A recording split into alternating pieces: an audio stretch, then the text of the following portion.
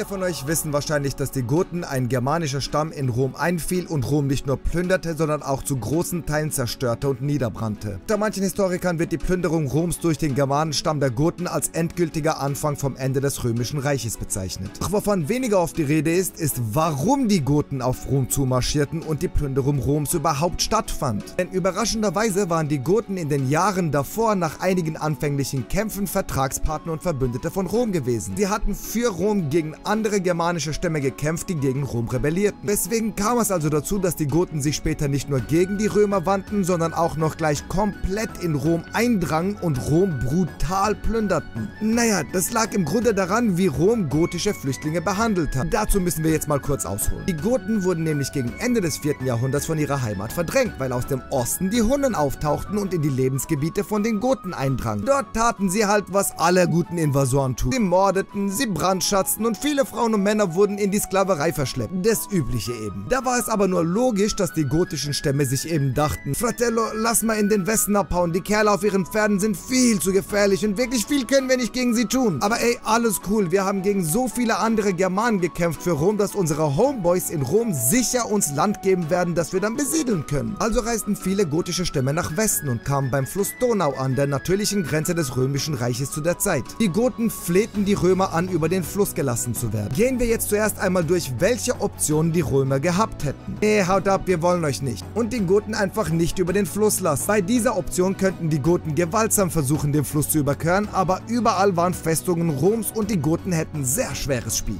Option Nummer 2. Oh, me amigos meus, klar Mann, kommt rüber, hier habt ihr Land und Platz zum Leben, damit ihr euch und eure Leute ernähren könnt. Habt so viel für uns getan, das ist ja wohl das Mindeste, eine Frage der Ehre. Diese Option hätte die Goten ins eigene Land gelassen und ihnen genug gegeben, damit sie ein friedliches Leben innerhalb der Grenzen von Rom leben können. Sehr wahrscheinlich hätte das ihre Loyalität weiter gestärkt, weil sie gesehen hätten, in unserer schwersten Stunde haben die Römer unseren Rücken. Was wählte also Rom? Option Nummer 3. Ein weirdes Mischmasch aus beiden Optionen. Die ließen die Goten rein, besteuerten sie aber so hardcore und gleichzeitig gaben sie ihnen so unfruchtbares Land, dass die Goten kaum davon leben konnten. Und als wäre das nicht genug, wurden sie von den meisten römischen Leuten, die zuständig für sie waren, wie Dreck behandelt. Und jetzt war es soweit. Jetzt hatte man halt eine riesen Armee an Goten mit ihren Familien, die nicht in ihre Heimat zurück konnten aufgrund der Hunneninvasion. Ihre Familien, die gerade noch so irgendwie den Hungertod entkamen, vollkommen in die Armut getrieben, während sie einfach wie Müll behandelt werden, nachdem sie jahrelang für Rom gekämpft haben. Und gleichzeitig hat man sie halt schon ins eigene Land gelassen. Und es kam, wie es kommen musste. Ein Aufstand der Goten begann. Und wichtig ist dabei, vergesst nicht, das war kein Aufstand von Gegnern außerhalb, wie es Rom gewohnt war. Denn trotz des schlechten Bodens waren sie halt innerhalb von Rom. Die ganzen Festungen, die die Grenzen von Rom sicherten, naja, hielten die Goten nicht auf, weil sie halt eben schon im Land drinnen waren. Entsprechend war dieser Aufstand absolut verheerend. Es geschah eine ganze Menge während dieses Aufstandes. Aber der Aufstand gipfelte in der Erstürmung Roms, angeführt von dem Gotenführer Alarich im Jahr 410. Somit war die